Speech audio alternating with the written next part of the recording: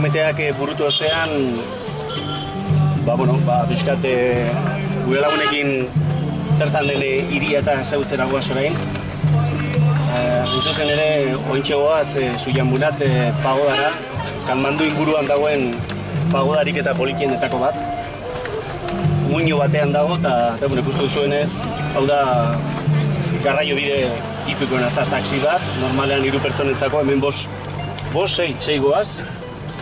Eta, bueno, ba, horra jo baino nola abestuin behar da prezioa, zenbaten, zenbat eh, den e, bidaia, eta, eta, bueno, hau, zati laguna oso jatorra denez, onartu baitu hemen sei pertsona.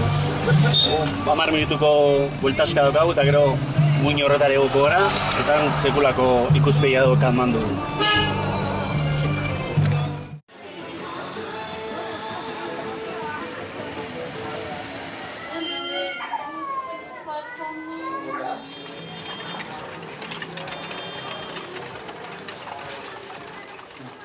Bizkaia gaiurretan Bilbotik lotzera Euskaraz proiektuarekin ari gara hemen, eta gure berri izango duzue honek izan duen bezala.